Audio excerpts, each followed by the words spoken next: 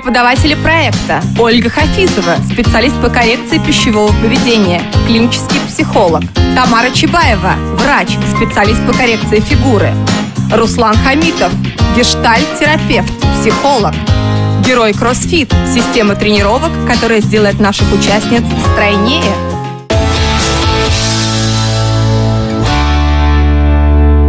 Руслан, у меня такой вопрос. А, Еще недавно в моей жизни было все плохо, да, я думала, как бы моя жизнь закончилась на этом, жить не хотела, как говорится. А придя на проект, почему-то так постепенно, постепенно все, ну, как слово-то подобрать? Ну, наступает все хорошо, и с каждым днем вот это хорошо, да, это становится все больше, и вот это вот именно вот это вот хорошее, его все больше, больше, больше. Как ты ощущаешь, что становится хорошо? Как ощущаю? Да, да, да. В чем это выражается? Э, в себе я это ощущаю. То есть а я как бы вернулась к жизни, я еще больше расцвела, мне кажется, то есть я поменялась. А за проект э, я здесь месяц и неделю, наверное, да, 10 дней. Ну, второй месяц пошел, я похудела на 10 килограмм, я преобразилась, э, и вот я боюсь потерять вот это вот состояние. И тогда в какое ты можешь попасть состояние? Больше всего в какое состояние ты боишься попасть? А самое больше вот в то состояние, которое у меня было до проекта. Это вот утрата близкого человека. Можешь описать это состояние? О, это ужасно, это я не могу даже словами описывать. И я просто сейчас, если начну в том состоянии копошиться, это все, меня волна нахлынет. Я стараюсь вообще сейчас не думать э, о той ситуации. Это давно произошло? А 13 февраля.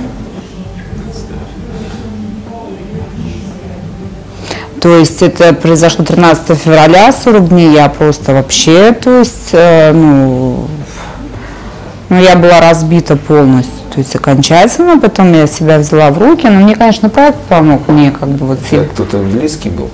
Это мой ребенок. Да.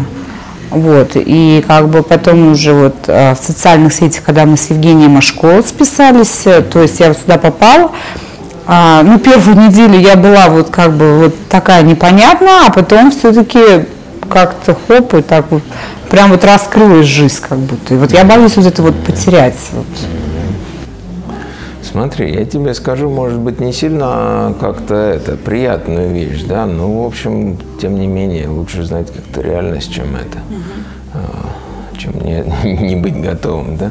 Ну, вообще, утрата проживается, ну, как минимум год. Другое дело, чтобы прожить ее даже за этот год, да, то важны вот эти периоды, которые ты будешь, правда, проживать, все те чувства, которые соответствуют проживанию горя.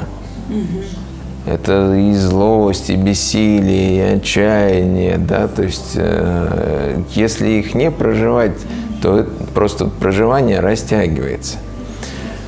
Какое-то здоровое проживание, да, без залипания, как раз а, происходит, когда у тебя есть ресурсы, на которые ты можешь опираться в жизни. Вот. Но ты можешь, получив ресурс, немножечко попереживать то, что у тебя там ну, недопрожито. Потом снова опереться на этот ресурс, да, то есть, я не знаю, это вот места, люди, какие-то занятия. Поэтому, о, ну, правда важно, вот, чтобы было и то, и то, да, то есть, чтобы ты не просто избегала вообще мыслей, да, как ты говоришь, сейчас страшно, а как раз может быть важно с наличием там, ну, поддержки там, психолога или еще кого-то, да, то есть иметь место, где ты можешь, правда, переживать эти чувства. Я боюсь их переживать, я как-то вообще, я прям заблокировала себя как-то вот. То есть это неправильно, это может, наверное, вылиться в последующем, да? То есть, Да, вместе с этими чувствами блокируется часть твоей жизненной энергии. Потому что ну, на проживание этих чувств выделяется какая-то си- сила твоя жизненная. И ты их, ну, эти чувства блокируешь, и вместе с ними остается заблокирована эта энергия. Конечно, можно и жить дальше, но, в общем-то, рано или поздно оно будет все равно, ну, как-то рваться наружу, да, то есть, чтобы все-таки быть прожитым, пережитым. И как можно проверить, пере- пережила ли ты, да, то есть, когда человек прожил какую-либо травму, утрату или что-то еще, то когда он смотрит на ну, вот, то, что произошло, в нем может быть, ну, как бы оставаться какие-то, ну, там, грусть, там, да, но оно уже не трогает, уже не так э, болезненно становится, да, но это вот, когда вся та работа горя, горевания проделана, только тогда можно прийти к этому состоянию, когда ты уже, тебе не нужно ничего подавлять, сдерживать, то есть ты можешь прямо на все это смотреть, понимать, осознавать, и более того, любая даже ну, там, а, травма психологическая, там что-то, да, то есть будучи прожитыми, они делают нас, ну, как-то выводят нас на какой-то качественный уровень, дают нам больше каких-то сил, возможностей для, ну, вот, э, не всегда внешней, но какого-то внутреннего состояния, внутреннего переживания жизни, если нам удается вот, травму прожить. Но опять-таки, а, тут вот если начать, то есть, как это выразить правильно? То есть, когда эти эмоции, они наружу пытаются выходить, то есть я их сразу как-то вот э, гашу-гашу, то есть, а, и, а если, например, я их не буду э, блокировать, а у меня в голове это не укладывается, начинает сходить с ума, и поэтому, то есть, как бы, э, как объяснить там, ну, как срабатывает инстинкт самосохранения, что mm-hmm. ли. Mm-hmm. То есть я понимаю, что у меня есть еще ребенок, у меня есть дочь, я ради нее должна жить, как говорится, mm-hmm. да, то есть я должна быть для нее примером, я должна быть а, красивой, улыбаться. Смотри, ну, тогда да. и может быть как раз важна а, поддержка, ну, то есть специалист, который бы рядом с тобой мог тебя поддерживать в том, чтобы ты ну, проживая это, не соскальзывало совсем, да, туда, ну, в какую-то пучину, из которой там тебе сложно выбраться. Когда бы, чтобы ты могла немножко переживая, ну, как-то, правда, как ты говоришь, останавливаться и обращаться вот к тем вещам, которые тебе, ну, важны, ценны, да, ради которых стоит жить. Чтобы, ну, с одной стороны, не проваливаться в пучины, да, из которых не выбраться, и в то же время – не игнорировать все равно эту боль. И так вот ее какими-то теми порциями, которые тебе переносимы. Понимаешь? Угу. То есть вот я там не люблю рыбий жир, ну там, ну ложечку там могу, да, то есть, конечно, я его там, если мне сразу тазик э, скажут пей, я скажу, да вы что, с ума сошли, да, меня вырвет просто. А понемножечку могу, понимаешь?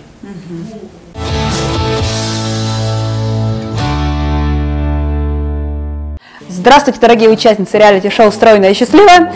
У меня к вам такой вопрос. Кто сегодня хочет поработать над своими установками относительно своего веса? Я, я. Свет, ты как, пищеголик мой? Тоже хочу. Скажите, пожалуйста, а у кого на сегодняшний день не очень получается снижать вес? Как вы сами оцениваете? Есть такие люди? Я вот последние две недели, наверное, вес у меня стоит на одном месте. А с чем ты связываешь это? Когда я начала правильное питание, то есть я сладкое, десерты вообще исключила. Угу. А недели две назад я их включила. Включила в какой дозировке? Э, сначала включила в правильной дозировке 50 килокалорий, а потом я, мне кажется, превратилась в оборотня. И... Подробнее? Да, и прям и прям... Святая неделя не так давно закончилась, у нас уже оборотни появились. Да, и прям вот, ну, согрешила. Грешна. Согрешила, и я вот... Будем отпускать грехи сегодня? Да, вот я пришла вот исповедаться. У меня такое ощущение, что я сейчас с Анией Тимасовой разговариваю. Почему? У нас уже был подобный разговор. Да? Угу. Поработаю с тобой сегодня, хорошо? А, я подготовила три листочка бумаги. Подойди, пожалуйста, возьми их у меня. Держи. Пока присаживайся, тебе нужно будет кое-что на них написать. Девушки, запоминайте, э, ваша задача то же самое сделать дома, потом отчитаетесь мне э, в нашем чате, либо напишите мне в личных сообщениях ВКонтакте. Договорились? Запиши на первой бумажке цифру максимально исторического большого веса в твоей жизни. Сколько ты весила максимально много? Не э, включая беременность. Записала. Записала? Какой? 87. 87 килограмм. На следующей бумажке напиши твой сегодняшний вес. 81. Хорошо. На третьей бумажке желаемый вес напиши. 65. 65 килограмм. Хорошо, отдай микрофон, пожалуйста. Закрой глазки и прислушайся к тем ощущениям, которые у тебя появляются на этом стуле. Я не знаю, какая там цифра, понятия не имею, потом разберемся. Просто прислушайся, насколько тебе комфортно или некомфортно сидеть сейчас вот на этом месте. Какие ощущения? Комфортно, но немного тревожно. Тревожно. Тогда открывай глаза и пересаживайся на любой другой стул. Закрывай глаза. Полностью вчувствуйся в ощущения, которые появляются в твоем теле на этом стуле. Что подсказывает тело, душа. Может быть, появляются какие-то мысли, какие-то образы. Если готова, то поделись с нами, комфортно тебе здесь или некомфортно. Комфортно, но не мое. Не твое это вообще. Пересаживайся. И то же самое здесь. Закрывай глаза. Почувствуй, какие ощущения, насколько они комфортные для тебя. В теле, в душе. Может быть, какие-то мысли, образы приходят в голову. И поделись с нами, какие ощущения здесь. Ну, здесь не очень комфортно. Не очень комфортно. Получается, все три стула для тебя не особо комфортны. Там, ну там был страх, да? Нет, на всех удобно, но как-то это... Здесь была тревога, правильно я понимаю? Ну, здесь было комфорт. Вот самое комфортнее было здесь. Здесь, но с тревогой немножко, да? Э, Страх, может быть, того, что боя... боязнь ошибиться со стулом, может быть, как-то так. Это не важно, не, не пытайся пока Ну, анализировать. значит, самый комфортный вот этот все-таки стул. Комфортно, но тревожно. Здесь было не твое Моё. место, а здесь Некомфортно. просто некомфортно. Что значит некомфортно?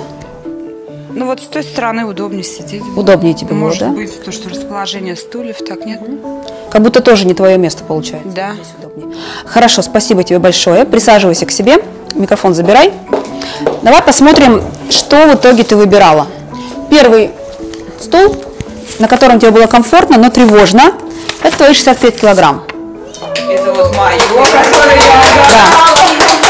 Для тебя это комфортный вес, но, э, Ань, о чем тебе нужно задуматься? Почему тебе страшно весить 65 килограмм? Какой страх здесь стоит? Что страшного будет, когда ты будешь весить желаемые 65 килограмм? Помните, я вам говорила, что у лишнего веса всегда есть свои выгоды. И стройность, она будет накладывать вас, на вас определенные обязательства. Например, при стройности вы становитесь более сексуальными, э, привлекательными, правильно? Вопрос, вы готовы с этим справляться? На словах, да, а на деле? Так, давай посмотрим здесь, да, не на своем месте. 87 килограмм. Не мое. Не твое. Не мое.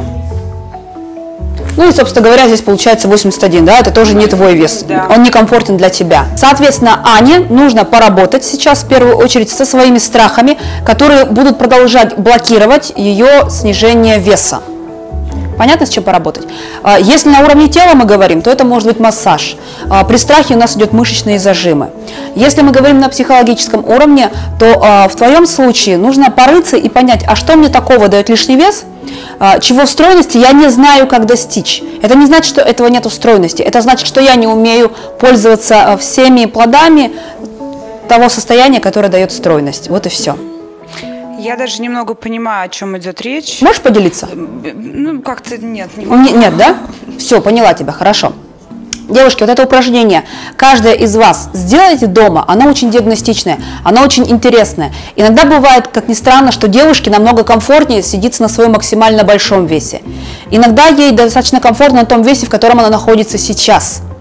И это действительно тоже очень диагностично. Это говорит о том, что может быть, пока стоит разобраться с головой и потом продолжать снижать вес, а не мучить себя различными диетами, различными упражнениями. Если мы говорим про Аню, то ей комфортно будет в своем легком весе, но тем не менее есть страх. И это здорово, что она начала осознавать, о чем вообще идет речь. Когда Аня проработает свой страх, ей будет намного проще. И монстр, о котором она сегодня говорила, оборотень, в конце концов угомонится и перестанет просыпаться в ней.